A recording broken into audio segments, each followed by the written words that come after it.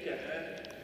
be at the end of the court or on angle, seeing the court, because the principles that we'll talk about, you know, visually will be better if you're standing either back here or on an angle. Being sideways, it might be difficult to understand. Might not. Might be just a bit difficult to visualize, sorry, not understand. The drill they're doing right now is the drill that comes from the Brazilians.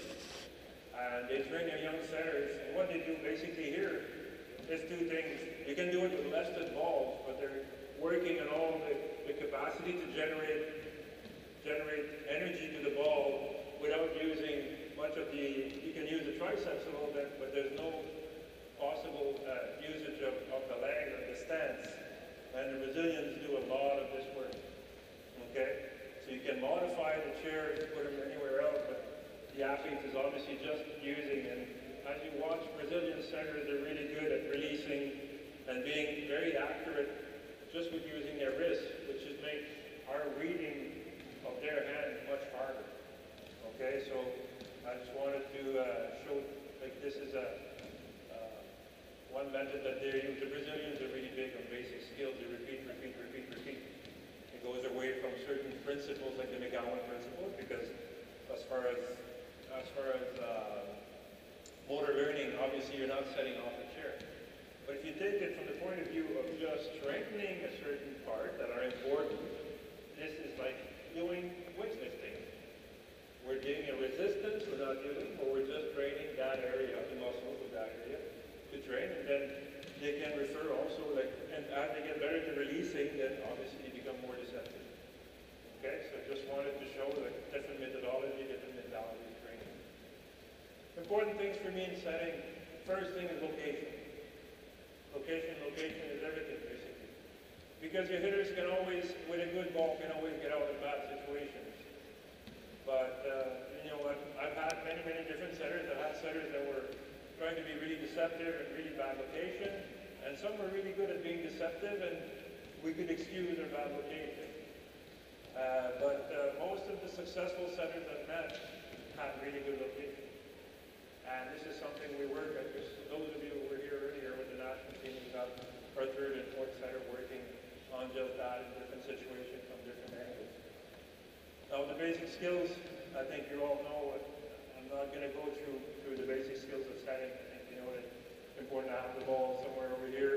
You know, lower a little bit because you can use your triceps, especially when you're younger, like this. And also because you can see what's in front of you, what's beside you. I don't like setters that take the ball over here, okay, runs really high because a lot of times they cannot locate or get the energy enough when they're far. So when you teach your setter, get them to be from here, they can use only wrist or they can use, if they're at a longer distance, a high ball situation. You don't want to change it up all the time and say, okay, if you're in a high ball situation, you drop your elbows. If you're in a normal situation, you bring your elbows up. Just try to be consistent if you have to less uh, less potential errors in, in the execution of the set. Um, it's okay, guys. Coaches, getting tired? Coaches, it's okay.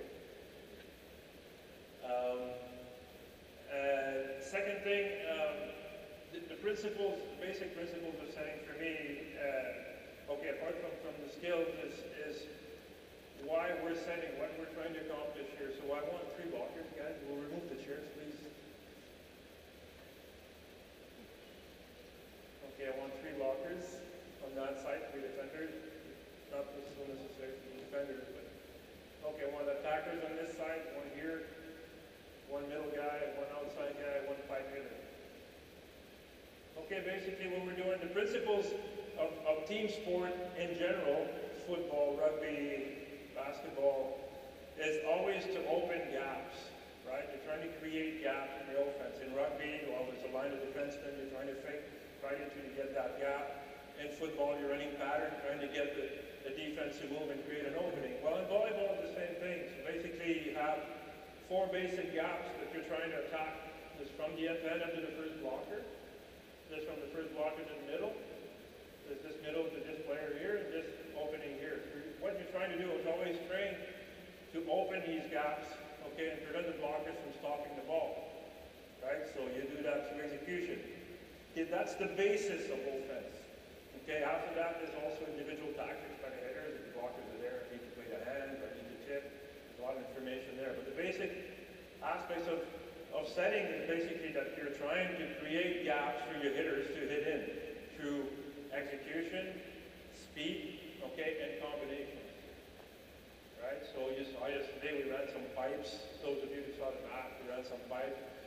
Uh, the, the Portuguese team's a smaller team, so they're easier to attack through the middle, but also they have to make clear choices. So then it becomes a, a, a chess game, trying to figure out if they're going to jump, not jump, and then making the right choice in our case. Um, so he's going to learn to be able, in, in, in order for us to run a lot of different combinations, we need to master those combinations. You need to master the, the 51, you need to master the 31 to be efficient at it. You know, a fast set to the outside, okay, a pipe. So those are, but that's not easy to master, right? So doesn't matter how, how good my game plan is offensively, if I cannot master the, the elements that I need to execute the game plan, such as running a good pipe, then my game plan won't be very useful. Okay, so again, we're trying to use and attack those four gaps, all right? So what we're going to do first, get one, get one. Okay, so what we're going to do is just toss balls to the setter back here, okay? And we're going to run some combinations to start, okay? It's up to you.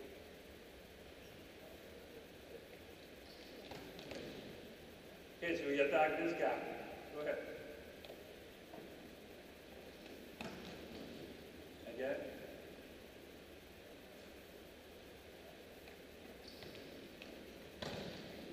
Okay, so see the speed of the set, you know, a little slow, a little off-center. In that case, you know, we got two blocks, so that gap was closed. Go ahead.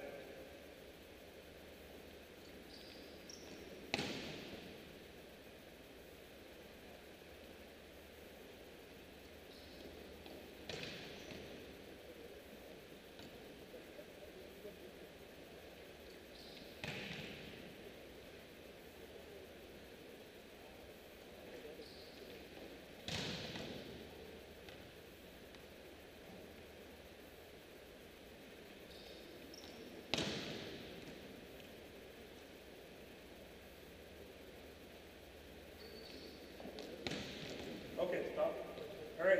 Our setter is not looking, obviously, he's not at any time looking at what the blockers are doing on the other side. This is something you need to teach your kids. Peripheral vision, or just, if you have time, just look across, okay? Obviously, when you're game planning, you're gonna use a lot of information. This middle likes to commit every time there's a good pass, he's jumping or he's fronting. If you run a 31, he's in front of the, the 31, and you know that you're gonna be using certain sets to get away from that. Now, he needs to learn on good passes to look across. At the beginning, of, you got a lot of setters looking, but not really making a decision based on what they see. They're just looking because they're looking. I've seen a lot of these, especially in the pro league and stuff. It's just because they created the habit of looking, and it's something that they do. Uh, good setters, Ken Greaves, Ricardo, they look and they do something about what they see. Right? It confirms that the guy is there or it doesn't, or the guy's releasing early. I've seen some of the most, the higher level athletes, like, like such as Ken Greaves, I've seen him like, he, he liked the game of, of playing against the middle blockers. So he would look and then if the guy would release early, then he would hold and stuff like that. Kind of wink at the guy on the other side and stuff like that against good blockers. It's a chess game like that. So I remember Ricardo when we played here against Brazil a couple of years back and he's coming in, he's coming in on the free ball over here and he's looking at Murray. He's looking at him, he's looking at him, make a move, make a move, make a move. Murray stays there. He's obviously knowing that he's looking at him. And then he's flipping the ball and he's got a one-on-one. He was at that time the best setter in the world, and that's the reason why. He was accurate, he was deceptive, but, and he saw everything that happened on the other side when he looked. So this is something, not, not, it's not, it's something that he practiced get used to visualizing and knowing why they're looking. Okay? What I'm going to ask you to do, we're going to give you good ball. okay? And you're going to watch. You're going to have a, a quick look just before, okay? And try to go away from where number 14 is going to be, all right?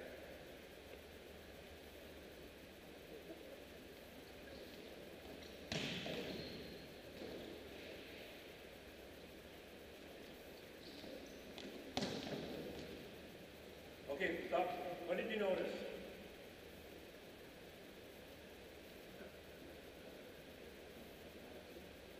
Not very much. I noticed a lot. Sorry?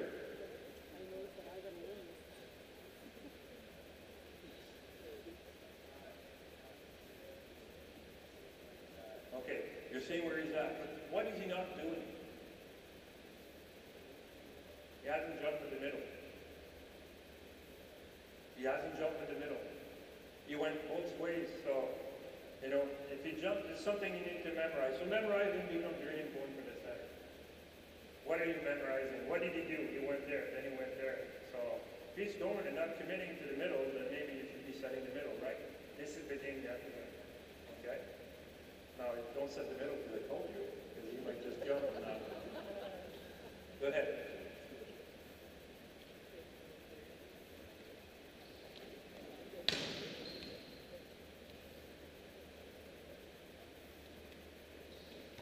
Okay, good.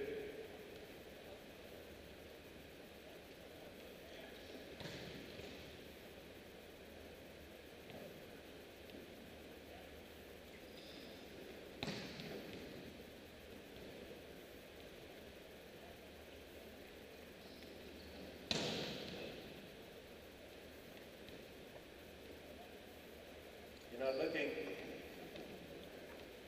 Have a look. You're not looking. Look. Okay, stop. So I remember, you know, when you got tall blockers like this, I remember Ricardo one match I went to see in Treviso when he was setting for that club, and uh, he set the middle more than he did anything else. And he got mad at his middles because I just started getting tired. But the other team, the other group, the other team had really tall, two tall middles that didn't want to jump. They were just in read. And he challenged them the whole match to jump, and he never did, so he kept setting it. And he just looked at it. Come on, lock, lock my sets. And then as soon as the guy, he, he, then he would flip one outside and then come back and then challenge him and challenge him and challenge him again. And he got mad at his middles because a few times they came in late and stuff and just wanted to set them. They wanted the game easy. So in that case, if this guy doesn't want to commit, then you tell your guy to come quick and you're going to set it done until he decides to commit. But you need to memorize when he does, because when he does, then then the game starts. Then you're going to start playing. All right, go ahead again. Let's run the.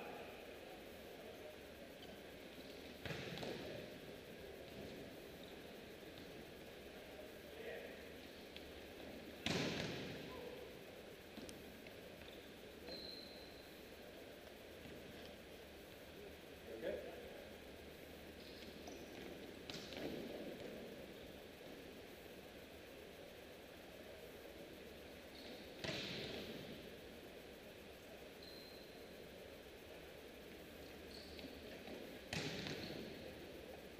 Careful not to drop your hands. Yeah. That's- Okay, let's let's try to run some 31s, okay, and see now, as soon as you put an horizontal component to your sets, not difficulty starts, meaning speed this way. You got hitters going this way, not able to hit, but the more you're able to put a horizontal component to speed, to the horizontal component, the more deceptive you get, so yeah, you can become, so teams that say that run, say the US are really good at running 31s, they're really efficient at testing. Volleyball was really good at many teams run it. Even the Brazilians, they like to run, they'd rather attack that gap by running a 51 and a 5 than try to go to that gap. They run it fast enough than try to run a 31 because it's such a difficult set to hit. Okay? But if you succeed in ma- make, making it really efficient, you get pretty good offense. Because you can spread it out, you can open it, and then play separation uh, against position two. So let's run some 31, okay? And just run your offense off that thing.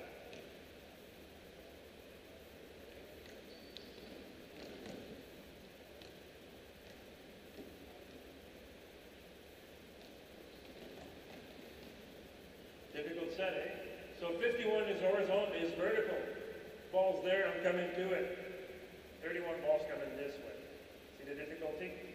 Okay, if you can master that set though, you get an advantage. Because for the blockers, it's harder to block a ball that's, you know, where do I, 51, I know it's coming here. Here's coming to me, boom. But as soon as we start moving, like either running slides along 50 or 31s, then there's an horizontal component to it, then it's harder to block. You saw yesterday, uh, Joao, the number 12 for, for, uh, for Portugal. He's one that probably is getting a little bit older, but he's a very good attacker and he hits really sharp angle. And we're, we're trying to play the system yesterday. On the video, we saw guys trying to chase him, but he's really good at hitting that 31, so it makes, you know, their offense, it opens up their offense uh, so much more. So let's try again. Okay, one thing here that's happening is that, what's your name? Bryce is, Bryce is trying to, to run his 31 from here. Now, if you want efficient offense, you don't need to hide that you're going to run 31. It's not going to do much, actually, because you're going to come to that spot. So what you need to do, though, is be efficient in coming to that spot, face shoulders to the corner so that you can attack the ball that's coming here, stop it here, or turn it here. If you're going this way, you're trying to fade, it's very difficult because the set's chasing you. And what you want want to be a spot where you're far away from the outside so that if he decides to release over, there's enough room. If I'm over here somewhere, I'm jamming my offense in this case. So you want to try to come to this spot so you can start to come directly. So you take away a lot of the, uh, the potential errors by making a, a, really good approach and then having the same approach the setter can try to find him at the same spot all the time. Okay? Kind of deception, then you can run a pipe up, or if you want to run separation, if this guy fronts, maybe see that he fronts, then you can go back. Okay, so, yeah. Let's run at 31, but yeah, start from that position.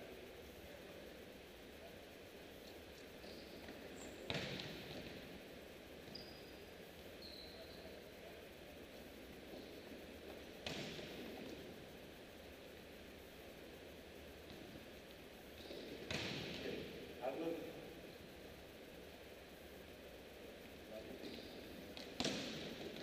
Okay, make sure you look, you see what it's doing? Make sure you look right there, so. There we go. You a pass? Good, good.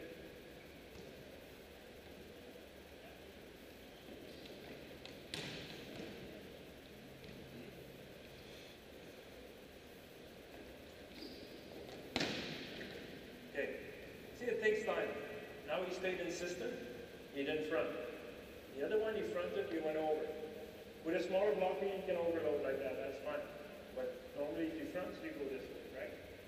Okay, and that's what you need to do. Is with time, what's going to happen is you'll be able to see the movement. Okay, but you need to pay attention and you need to do it and do it and do it and do it. Okay, and you'll make mistakes through that. Right? You're, you're not going to be making all the right choices. If you make the effort, a little bit of time. Anybody read the, uh, the talent code here? Yeah, myelin, eh? This is exactly the case. If he does it and does it and does it, he's going to go a lot of myelin and he'll be able to become that. But the conduction to make the decision will be the same. So, okay, let's run a few more.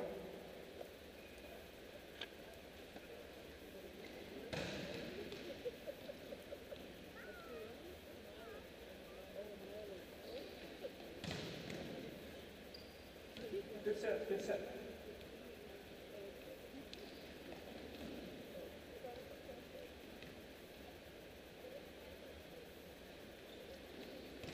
Okay. Good choice. Right? You stay this time. Okay, stop. What we're gonna do is we're gonna run, we're gonna switch setters, okay? And we're gonna run some 61 beats. Okay, so back. set.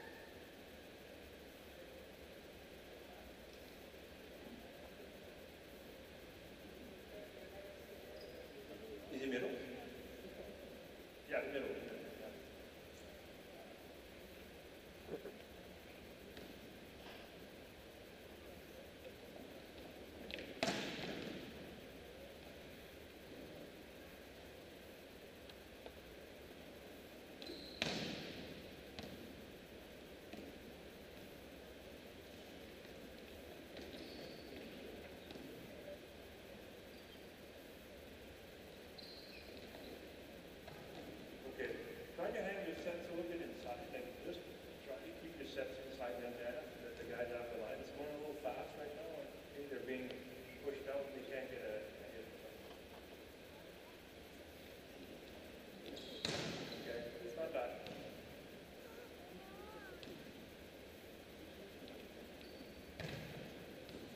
So sometimes you want speed, but you don't, you lose location, right? You want location all the time. You don't want your hitter to be like this or outside the antenna, because you can't turn mine. So location means I want my hitters to have all options on the outside. Okay, so if my hitters are not ready yet for a very, very speedy set, very high, then I slow it down a little bit. It's still, it's still deceptive. A lot of it is when the setter releases and the choice that he makes. But what we want is a consistent set. Now with immature athletes, a lot of time the speed, you know, if they're not strong enough to be able to plant and go through the ball, then you might need to slow it down until they get more physical maturity to be able to execute these, these, uh, these hits, okay. All right, let's go little more. Now, what we haven't talked here is that because the, the success of your offense is also is, is dependent also on your capacity to, in practice, to stop it. Okay, so we haven't talked to them about blocking system. But like when we train, we have a blocking system that's trying to challenge our offense. Okay, so when you're training your offense and you're setting, then it will become as efficient. You know, you will become efficient if your blocking side is able to stop it or try to challenge it as much as possible, and make it more difficult to score. Okay? I'll show you a little drill uh, just after this. Let's finish up.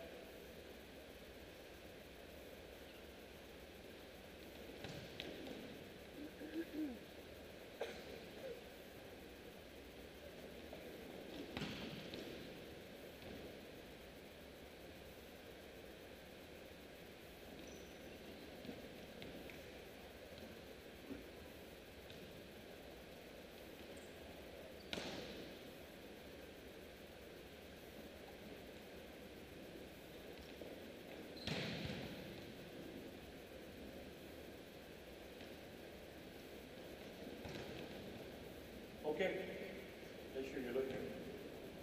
Yeah. Now, one thing you need to do right now, we, we, we set, if, if you're going to control the play, is uh, change sides often. Completely different thing when the ball's coming from position five. The ball, in this situation, you tend to just the ball bounces off your hand, and this is what most setters are pretty at ease with this. When the ball comes from behind, you have to impulse it to the outside, or stop it and bring it back this way, much more confidence. I do about two-thirds of my, my setting exercises with the balls coming from position one versus position five in ratio. Just because position five is so much easier. You know, it just, it's just, it just, it is much easier, but, uh, and I can pro, for example, this year in Turkey in the finals, we played a setter that we, we served to one no matter what, who was there to the barrel, it didn't matter. Because this setter couldn't locate the ball at four from when the ball came from position one. And we just kept serving there. It didn't matter if they passed well. The, the percentage of side out was so low that we ended up on the winning side. So, you know, like you don't want your setter to have. You don't want your setter to not being able to, side out from all positions.